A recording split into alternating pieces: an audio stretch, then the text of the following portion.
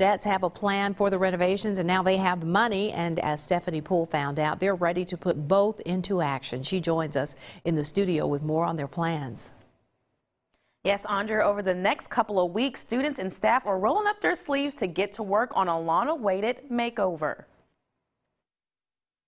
Chipped paint, old air conditioning units, and a moldy carpet. This is what senior JROTC student Ariel Hatton says she has looked at every day for the last four years. This room has been through so many changes because at first it was the mechanics room, it was the powerlifting room, it was the cosmetology lab, and that's why we have so many different colors and things going on in here. But little did she know it would all be changing.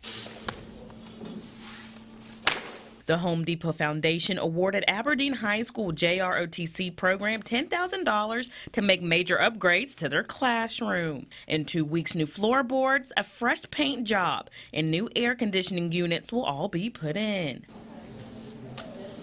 To see that we're finally getting to rebuild it and put it back together to make it what it should be is very exciting. Before being designated for the JROTC program, Room 25 experienced a lot of wear and tear, leaving the room in an unstable condition. Sergeant Rodney Williams says his cadets came up with designs and colors for the new classroom. Based on when a cadet comes in, they see A1 facilities. They want to be A1. And we tried to um, still in our kids this first semester um, we came on this program. We're going to be the flagship of this campus.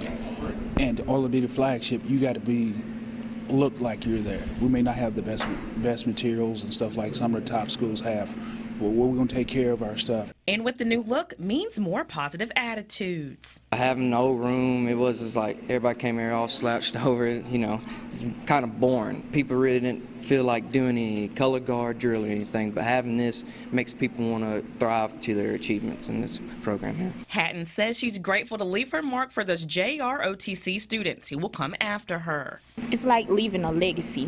When people who come here next to us, they look back, they're going to say, oh, my cousin did this, or my brother and my sister did this. They put the floor together. They made the colors. They painted the walls. They did all of that. So we're leaving a legacy behind from all of us. All classroom renovations should be finalized by November 13th.